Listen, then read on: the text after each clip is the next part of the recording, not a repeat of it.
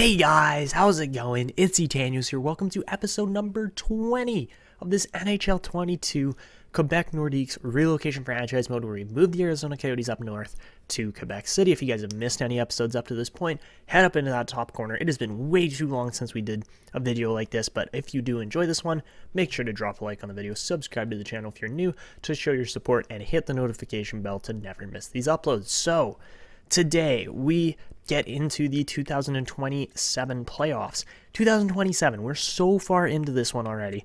We are 20 episodes in. It doesn't feel like it though, which is actually crazy. So, taking a look at this lineup, I honestly kind of forgot what is going on here. Um, but right now, you know, the lines look pretty darn good. I mean, they could be better, but again, we're running with some pretty young talent here overall. We actually have some comments to get through too today, but there was the uh, the kind of system change that threw all our lines off, which I have found quite interesting in dealing with, especially considering we have some really good defensemen coming up through the system too. And there's the potential at a top end player here as well, since we made that Detroit trade. Um, again, if you guys have missed any episodes, go back and check them out. But yeah, like this draft class coming up, it's solid. It's not insane, but it's it's pretty darn good, and we could potentially land Valentanko, which we probably don't need. I think we would be more likely to try and potentially land like Shishkinov maybe, or I don't know who else we'd even go for. We might go for like a winger like Tamarina. So it's not going to be the end of the world if we don't win the franchise player. Sure, it would be sick to get a guy like that. I mean, it is a little concerning that Capobianco or Capodicia, sorry, not Capobianco, that Capodicia doesn't have X factors and is supposed to go in the top top end of the draft. I mean, Vanden Bush would be really nice, and I think we'll probably land him. But you know, Shishkinov's got some pretty decent X factors there too, and could potentially turn out to be a really good defenseman. So, I mean, the draft coming up's good. Obviously, we don't want to go out early this year because we just kind of sucked the last couple of years. Like, sure we did end up making it. Where did we make it to in the playoffs? We made it to round three and got swept by the Sabres last last season, which is actually pretty crazy considering we finished in the exact same spot again. And we're now one and one against Buffalo in playoff series in this franchise mode. So it's actually not bad. But let's get to some comments here and uh, help that kind of direct the episode. All right, so the biggest comment here came from Ivan, who said, I think Shane Wright needs to go. He is underperforming and making too much money. So that's a really bold and interesting comment. Carter Green also commented on it, saying, Very bold, but I wouldn't mind it. Maybe put him on the trade block so he knows he's in rough waters for around three to six weeks.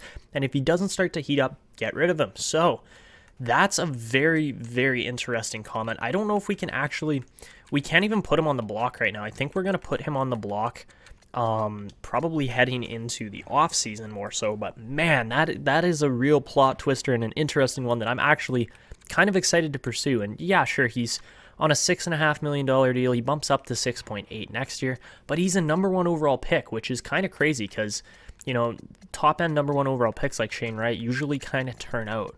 So he's got two more years, but we could very well move him if we have to.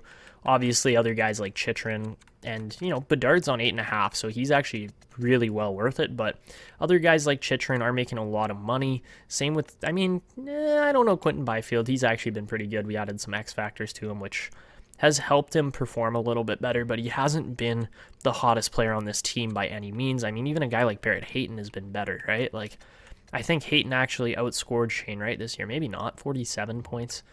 Uh, I don't know. I don't know. How many points did Shane Wright have? He had 60. Okay, so he had 60 and 80.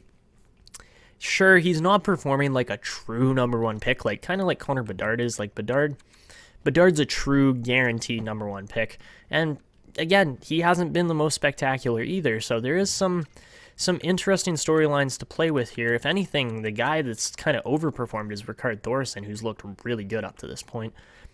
I don't know if he actually does he even have more points than I don't think he has more points. He's got like 274.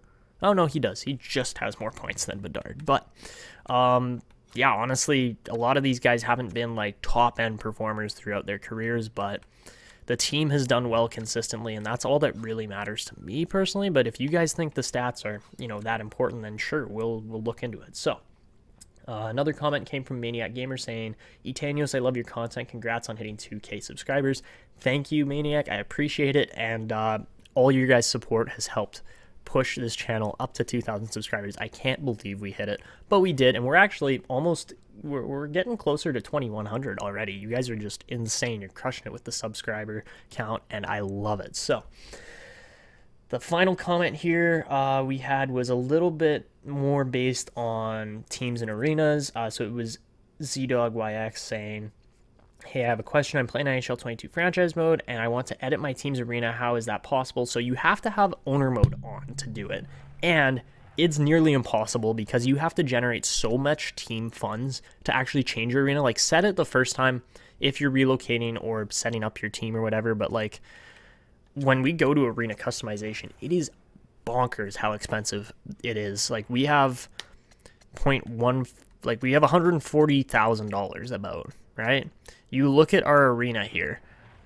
It costs so much money to actually like change the base setting of the arena. It it's insane. Like it costs like 15 million dollars or something. Like it, it might even be more than that. It might even be in the hundreds of millions. So, anyways, it's very difficult to do. You have to have owner mode on to change your arenas and facilities. But overall, it's just not worth it, in my opinion. It's better to spend the money on scouts and staff and facilities and things like that rather than the actual arena. So, now that we're through all those comments, we get to get back to some action. It has been far too long, and well, we've got the Buffalo Sabres. And again, this team knocked us out last year in the conference finals, stopped us from getting our goal of a Stanley Cup, and of course, the Edmonton Oilers went on to win it. So, Ooh, what what is going on there? Matthew Ward playing way up in the lineup. But taking a look, again, this is a very solid team. Um, Isak Rosén, yeah, he's going to be good. He would be even better if he had some of my roster edits there. Same with Jack Quinn. But they're still a really deadly team. And Filip Forsberg, Sammy Coulton, and Jack Eichel. Again, Jack Eichel missed, like I didn't, it wasn't in the update when we first started this franchise mode, the Jack Eichel trade that occurred just after. But, um, interesting. They've got a really shaky looking backup goalie by the looks of it. So, you know, if Sorokin wanted to get injured, I wouldn't I wouldn't mind that. But at the same time, that's also just evil. So let's uh let's get to this. They've got a great team. There's no doubt about that in my mind. Now it's more so just a matter of which team is going to perform better. So let's get to the simulation. We're going to do this regular kind of setup as far as simulate mostly games until we're either face an elimination or have the opportunity to eliminate the Buffalo Sabres, and then we might jump into some gameplay. But starting off game one, again, we've got home ice advantage. We finished fourth place in the league. I believe like second or third in the Eastern Conference. But first period, Buffalo's up 3 1 as Jack Eichel, Ian Mitchell, and Joel Armia all get goals. Byron Potty gets a shorty for us, but that's just not good enough. Five shots in the first period only for the Quebec Nordiques. We get an outshot 11 to 5 too. Ouch. Second period, make it a 7 to 2 game. What is going on right now? We just let in 7 goals on 19 shots and Samsonov still in net? Oh boy. Oh boy. I mean, Barrett Hayton scores one. I don't think we're getting 5 goals in the third period. Nope, they get one more. So do we. Power plays each, but yikes that was um, a very rude awakening for the Quebec Nordiques. In game one, we lose 8 to 3. And uh, Forsberg, Eichel, Cousins make us look silly. So that was brutal. Um, and we're going to really have to turn it around and step up our game if we don't want to go down 2 nothing nice and quick. So um, terrible start, but let's truck on here. Hopefully get a better result in game two. Bounce back on home ice. That would be fantastic. So First period of game two, it's a 1 1 game. Byfield opens the scoring. Jokiharju ties it up. They outshoot us 12 to 11 after the first. Second period, make it a 3 to 3 game as Kultanen and Cousins made it 3 1. And then the Nordiques bounce right back with goals from Kyrou and Wright. Let's see if we can maintain the lead here. I would love to get the lead to start with, but if we're not getting enough shots, Sammy Kultanen is going to take it from us. And what do you expect? Make it 5 3. Oh my god, our team is falling apart here. I don't understand it. Six three, Jack Eichel. Oh my god, what is going on? Are you serious right now, man? Are you serious? 6 to 3. We are struggling with the Buffalo Sabres, like, big time. This is bad. Six plus goals in two games now. Oh boy. Okay, that is that's bad. Um, so we're to start changing up the lineup now because that can't happen, and it just did. And we are down 2 nothing in two blowouts, to be completely honest. Three plus goal difference in the playoffs is bad. All right, I'm kind of making the executive decision here to try running Connor Bedard at center. Um, there's not really a lot else we can change with this lineup without losing a whole ton of chemistry. So, uh, yeah, I, I, don't know what else we should really do here. Um, the only thing I can think is maybe we start Gustavsson instead. So we'll advance up to the next game, make the change. Um, but yeah, that's just just such a bad start. I can't believe how badly we lost. So, um, yeah, let's sim up to the next game. And Winquist is available, you say. Okay, okay, I see him. Um, that's actually interesting, especially since Winquist is a decent player, too.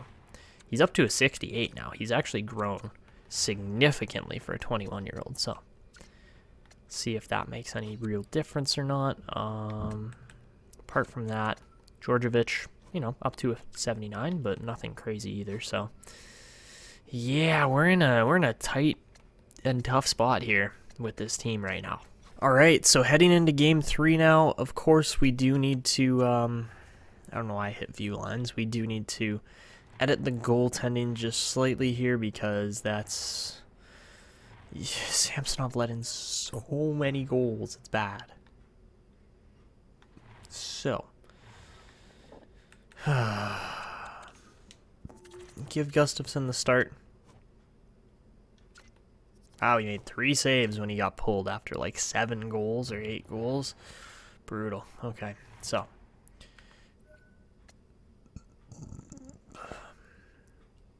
So here we go. Gustavsson's in net now, and uh, we better simulate better because that was just atrocious. So, first period of game three, and my Xbox crashes. Did you just tell me my game needs to be online? Are you... Bruh. Bruh. What do you mean? I'm pretty sure I'm connected to the internet. Don't tell me the Wi-Fi just shit the bed. No, it didn't. Why? Give me a break. Okay, here we go. I don't know why that did that, but first period. Two to one Buffalo lead. Yet again, we're behind. This isn't looking good, honestly. So,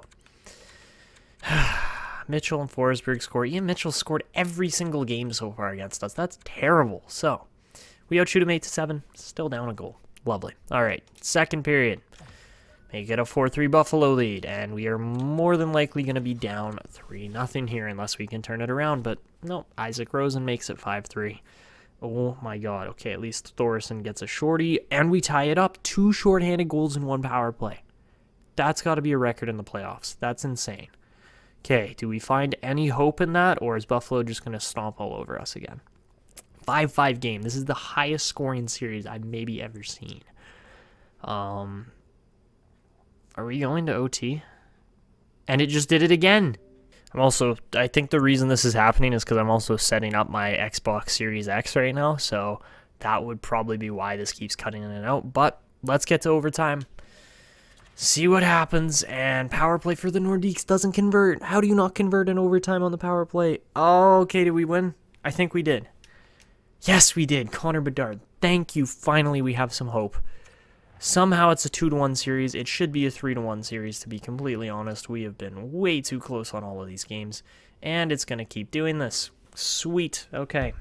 All right, guys, at this point, I don't even know where we are in this series anymore. I think it's uh, game four because it's taken so long for my internet to get working again that uh, I'm surprised the save's even here still. So, anyways, first period, 2-2 game.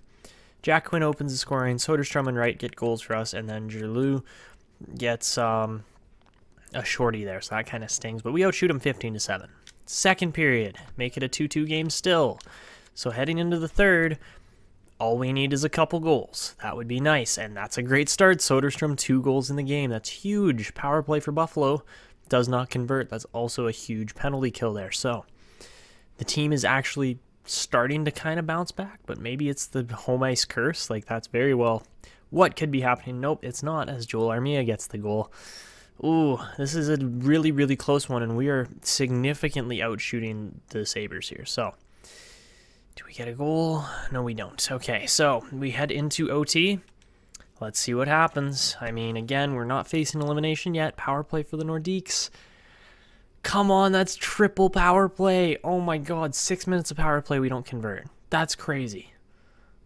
And we're still going. 44, 45 shots. Do we win it? No, we don't. Isak Rosén puts us against the wall here again. Oh my god, brink of elimination to the Buffalo Sabres. A team that finished lower than us, but has seemed to have bested us almost every time we play them. So, ooh, this is this is rough here. Like this is not good. And we lose Chychrun to a wrist sprain. He's been our best player up to this point, and now he's not in the lineup anymore. So, I mean, real struggle here going on. This is uh, this is bad. This is not the position we want to be playing at all. But what do we do, right? Like, there's not much we can do at this point. So, yeah, the struggle is going to be real here heading into uh, the next game. I mean, Samsonov's kind of choked it out every time here. Um, extra attacker, really? You don't fill that slot when you replace players? I guess not. That's cool. Okay. Sure, let's put Keller in there. He's our only other 90 rated player. You know, the team isn't actually that insane yet. They're good all around, but apparently not as we're down 3-1. Um, the Senators get swept there, and the Kraken get swept, so everybody else is going to at least 5, um, including us as we're down 3 to 1 heading home to Quebec. So can we actually get a result here? That is the real question. Chychrun's been kind of carrying the team here with assists. Hasn't scored yet, and he's not in the lineup. So, first period, 1 nothing Buffalo. Great start. 8 8 on shots. What more can you say? Second period, it's a 1 1 game. Barrett Hayton gets us into this. So I'm jumping in. I'm not risking getting knocked out in four, five, or six games, even. Um, we are facing elimination. And for whatever reason, Chychrun's showing up were my headphones on?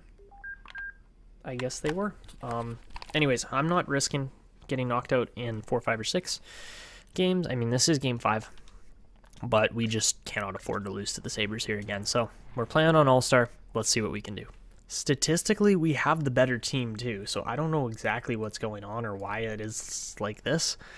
But, uh, oh, we started off hot here. I am not used to playing NHL. Dear God.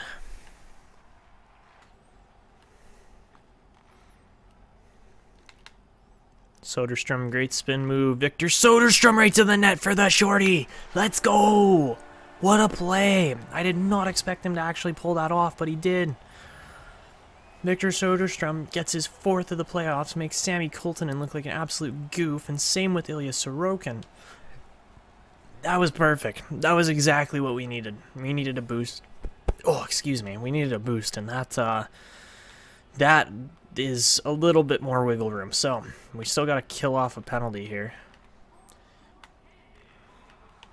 Brewer can't make the play. That's cool. Here comes Kyrou. Jordan Kyrou cutting down. Great try again. Oh my god, another one? Oh, come on. He's trying so hard to kill that off. And immediately it's a 2-2 game. So, Noah Hanifin makes it look way easier than it should be, but that's also all-star for you. So, oh, man, okay. 2-2 game, 321 left. We still got lots of power play time to kill off here, so. Oh, that's a great pass now, isn't it, Shanahan? Hey? Dude, interference, big time. Good defense, good plays. Here comes Bedard. Oh, you got you got to be kidding me with that much time left, man. Holy fucking... Where's the penalties, man? I don't get it. I don't think that Hanifin shot should have gone in. I think Samsonov should have had it. But anyways, very even game heading into OT here. Let's see if we can uh, find the decider and not lose the series. But honestly, who knows? Um, these games always seem to go in the uh, other team's favor, so let's see what we can do. All right, game five OT underway, five on five.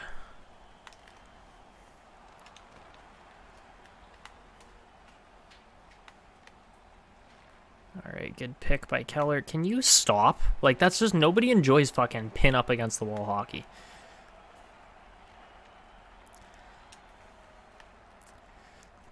All right, here, here comes Bedard. Connor Bedard cutting around, making it look way too easy. Back to Soderstrom. That just went in. I'll take it. I'll take it. But man, Victor Soderstrom's found the net way too many times based on the quality of chances he's had. I can't believe that actually went in. That was such an absolute lame goal. But we'll take it. Um, very, very simple goal. I literally just shot it from the point. And, oh man, Sorokin, what are you doing? Like, actually, what are you doing? I want to watch that replay. Like, I can't believe that went in. Did, did that seriously go in? like, he's got it on the blocker, and they just hand us the game there. Just, whoops. I think it hit his stick, actually. Yeah, it did. That's why. His, his own stick redirected that into the net. Okay, we'll take it. Uh, at least this series goes to six. So 3-2. Um, backs against the wall. We get handed an absolute gift there from Ilya Sorokin. Um, just a very simple shot on net. Samsonov saw way better chances than that one. And we'll take it. So moving on now. Um, we got to beat Buffalo here in back-to-back. It's doable, but man, we have, we have stunk it out too over the last couple. So here we go. First period of game six, we're down 2 nothing. Great start. It's the home ice curse, I swear to God. Second period, okay, 3-2 game. I can deal with that. But Kyrou and Hayton get the goals there, as well as Casey Mittelstadt again. I believe that's the second of the game. So, yeah, they got they got a real nice team here in Buffalo. So it would be nice if we had Chychrun back, but we don't. Not yet. All right, in an attempt to win game number six, we step into the third period, down a goal, but up a man in advantage here.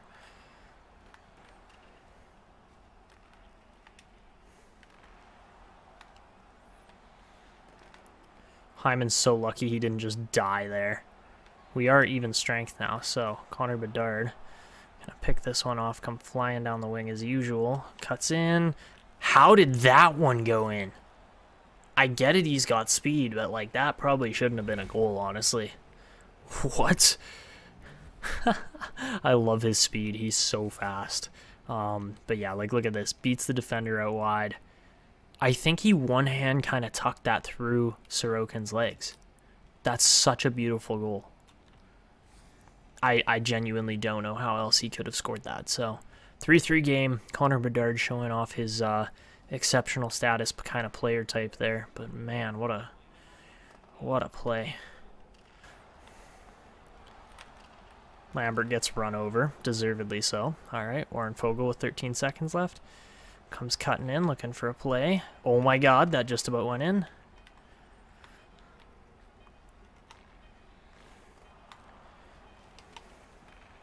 Fuck me, okay. Alright, so we head to overtime yet again. Um, it's been a very physically dominating game as the hits have been going back and forth here. We apparently had six power plays. I don't remember six happening, so Anyways, um, they've had seven, but we cannot take penalties, especially with how many chances they've had. So let's see what we can do here. Face off, gonna go back, gonna hit Connor Bedard. He's gonna cycle, look for a play, just completely out edge his guy. Connor Bedard walks in, good shot. Thorson back in front to Bedard. He almost got that one but now they're going to hold it. Gustavsson looking for a play. Filip Gustavsson barely makes that pass to Forsberg. Alright, Coltonen, I see you. Oh, pick up a play, boys. Let's go. Alright, here we go. Clayton Keller's got some speed here. Keller walks in. What a goal, Clayton Keller. Finally. Finally, we break the deadlock and we win this game in OT yet again. Push it to seven games. This has been a brutal series, but we're somehow in it still.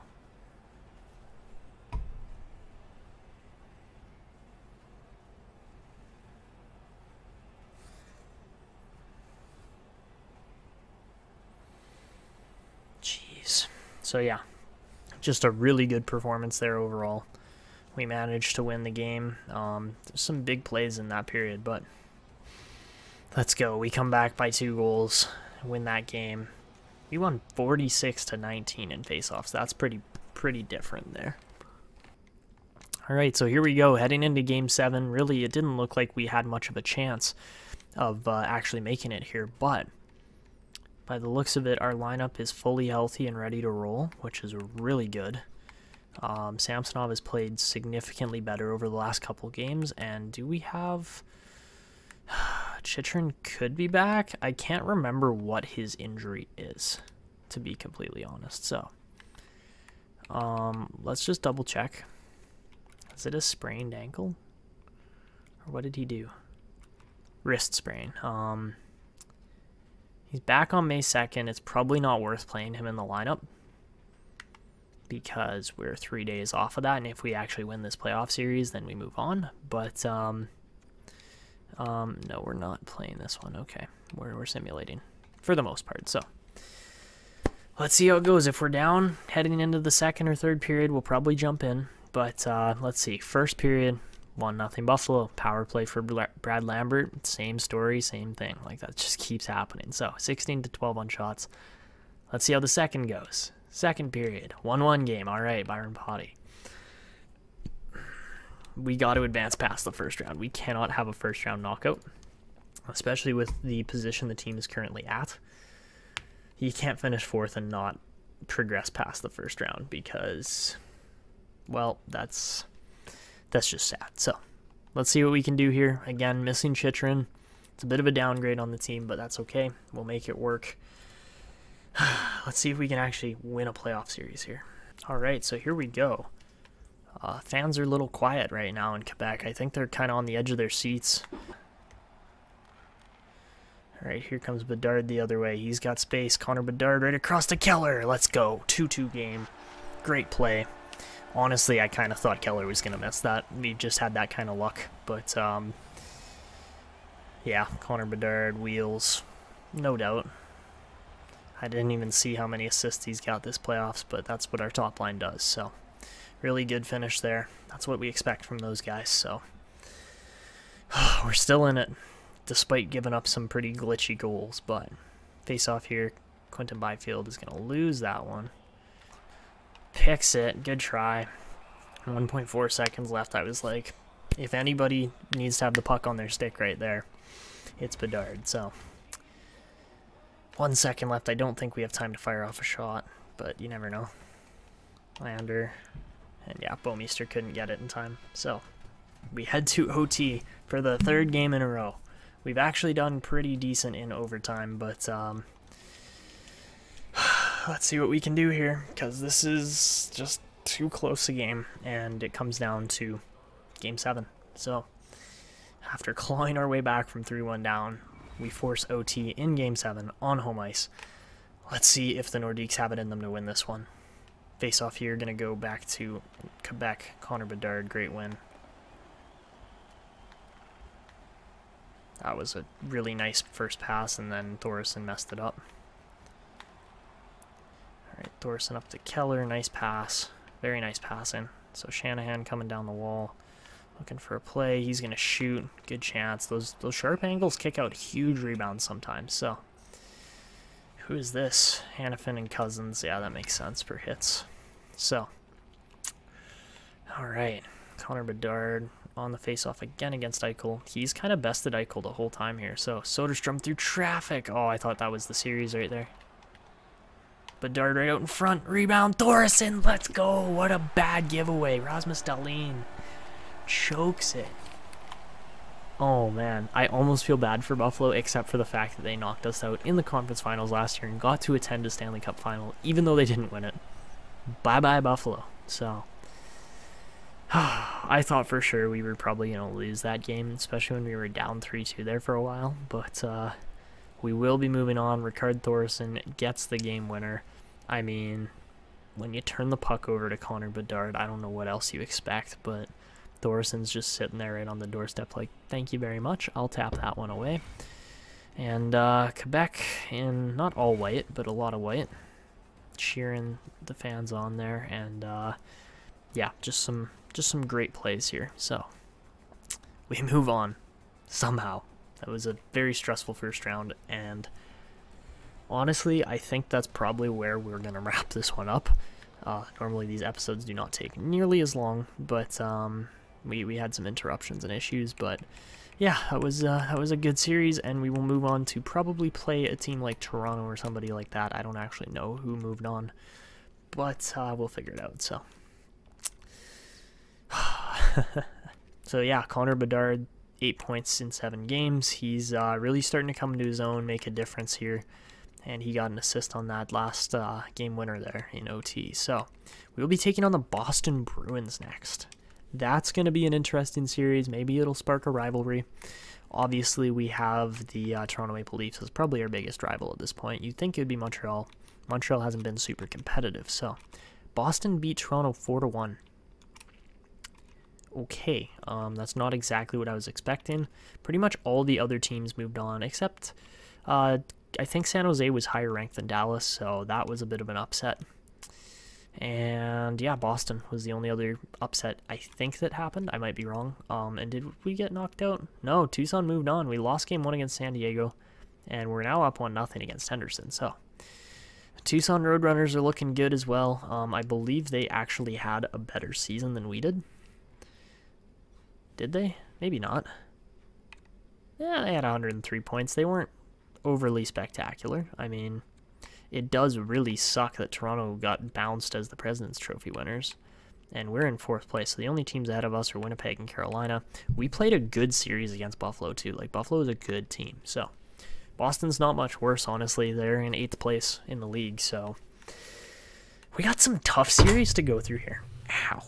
Totally just punched my desk trying to save my headphones from sliding onto the ground. But, uh, that is what it is.